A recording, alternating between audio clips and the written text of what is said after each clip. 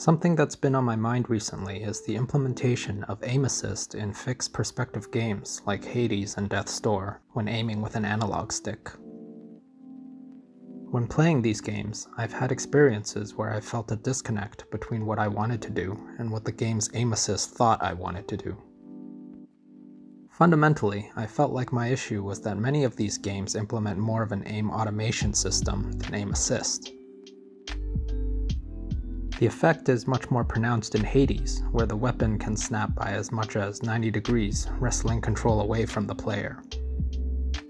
In Death's Door, the effect is much more subtle, as the game never visualizes the correction it applies to the user input, and doesn't correct by more than 15 degrees. For the sake of this video, I reverse engineered the aim assist code in both of these games, because I think it highlights the type of gameplay design problems that aim assist attempts to address. I'll then present my own thoughts on how to better formulate the problem of aim assist in a way that makes it easier to think about how to balance things like player intention, skill, and gameplay feel. Hades is a fast-paced game, where players often find themselves surrounded by fast-moving enemies. In general, every enemy must be dealt with before the player can progress to the next room. In this context, aiming is often secondary to hitting, and so the aim assist in Hades appears to have been designed to ask the question, what are the targets that the player might want to hit in this context, and which one is closest to the player's aim direction. In theory, this ensures that any target the game selects will always make incremental progress to clearing the room. Weapons which require line of sight will only snap to targets that have line of sight, Weapons won't snap to enemies that are off screen, that are currently invulnerable, or that are outside of the range of the player's attack. For each potential target, the game uses the current gameplay context to make its best estimate of whether that target is valid for aiming or not. For targets which pass, the game selects the target whose direction is closest to the player's input direction and whose distance to the player and arc distance to the player's input direction falls below some threshold. In Death's Door, the aim assist is formulated in the exact opposite order. It first asks, what are the hittable objects closest to the player's aim direction, then, which one is the player most likely to want to hit. This reversal is interesting because it allows for multiple layers of context sensitivity. For example, puzzle elements have higher priority than nearby enemies, which in turn have higher priority than faraway enemies. Because both of these games snap the player input directly onto a target, any missnap can lead to an instantly frustrating experience for the player. This is mainly an issue when the player has a very specific target in mind, because the incongruity between player intention and avatar action leads to a very noticeably jarring experience. A common failure mode is when the player intends to shoot at a target which is slightly out of range, but the aim assist erroneously corrects the player to a completely different, in-range target. This incongruity between intention and action can be especially frustrating if aiming at the wrong target doesn't make any tactical sense, such as prioritizing a low threat enemy instead of a high threat enemy, using a high power attack on a weak enemy, or using an AoE attack on a lone enemy. Aim assist is something that I want to incorporate in my own game, and through some early prototyping, testing, and subsequent reflection, I've come up with a few ideas that I've consolidated into what I think is a pretty flexible framework for thinking about the problem and potentially addressing some of these issues. Let's represent player input direction and avatar orientation as the x and y axes on a 2D phase graph. The map between player input and avatar orientation is a function, f of x. When f is the identity function, f of x equals x, player input is mapped to avatar orientation directly, without modification. The avatar points in exactly the direction of input, as is the case when there's no aim assist. When f of x is not equal to x, it describes the transformation from the player input space to the avatar orientation space. Now let's consider a potential target near the player. The target has a particular angular position and size from the player avatar's perspective. The angular position changes as the target moves around the player avatar.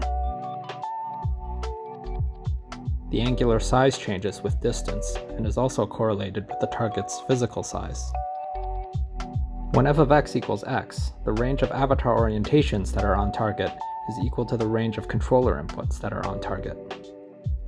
However, if we select f of x to widen the target region, a greater range of controller inputs get mapped to on-target avatar orientations. In more mathematical language, we can call this the pre-image of the target region B under the function f, and we can think of it as being the virtual size of the target from the perspective of the player's controller. Even for a physically small target, we can choose to maintain a large virtual target, making it easier for the player to input an angle that points to somewhere on the target. In this way, we can imagine constructing f of x to always maintain a minimum pre-image size of each target, no matter their actual size or distance. This allows us to set a skill floor for how hard we want it to be to aim at targets. Another way of analyzing this function is by looking at its slope. Regions of low slope represent regions where the function makes it easier to aim by decreasing sensitivity. They must be balanced by regions of high slope to ensure the total domain and range fill up the full 360 degrees. Beyond this constraint, we can make many different decisions for the design of f of x depending on our goal as a gameplay designer. For example, we may like to smooth the curve to reduce the jarring effect of a sudden change of sensitivity as we aim toward a target. Perhaps for a precision weapon, we want the player to feel a change in sensitivity at the center of the target, no matter how large it is, so we design F to always flatten the slope at the center of targets. Perhaps we want to limit the extent to which we enlarge the virtual size of targets on higher difficulty settings. We want to only provide the feeling of locking on target, without actually affecting the difficulty of hitting targets at all. Maybe we decide that for predictability, we want to apply the same correction to all targets, no matter how big or small they are. And in each case, we can globally decide how much assistance to provide by blending it with the identity function. As a point of comparison, the sort of direct snapping aim assist approach we've previously seen looks something like this in our visualization we see that this indeed produces large virtual targets, which any useful aim assist function should do. However, the direct snapping approach also produces large output discontinuities, and sets of avatar orientations whose preimage is completely empty, representing directions that are impossible to aim at. Consequently, any aim assist system using the snapping method must be highly robust in its target identification, as any failure of the system results in catastrophic gameplay consequences. The generalization of aim assist to include these smoother functions thus represents a relaxing of the responsibility of the aim assist algorithm, while still addressing the fundamental problem of compensating for imperfect player inputs. In our search for the perfect function that satisfies our game design goals, we may like to enforce a couple more restrictions. As previously mentioned, we would like the domain and range of the function to be all the angles between 0 and 360 degrees with a circular topology. We might like to enforce that the slope of the function is never negative or larger than some maximum. We might also like to limit the magnitude of the correction to some reasonable value. Beyond these simple constraints, we may have other constraints we'd like to enforce it might make sense to specify that perfect aim on target should never result in any correction. And maybe we'd like to explicitly specify the sensitivity of f at each target depending on the target. It may seem like a pointless complication to define all of these things mathematically, but there is some advantage in at least thinking a little bit about it. In my opinion, mathematics is the universal language of abstraction, and so if we understand the mathematics of our problem, we can often find a wealth of solutions beyond our immediate application that we can make use of.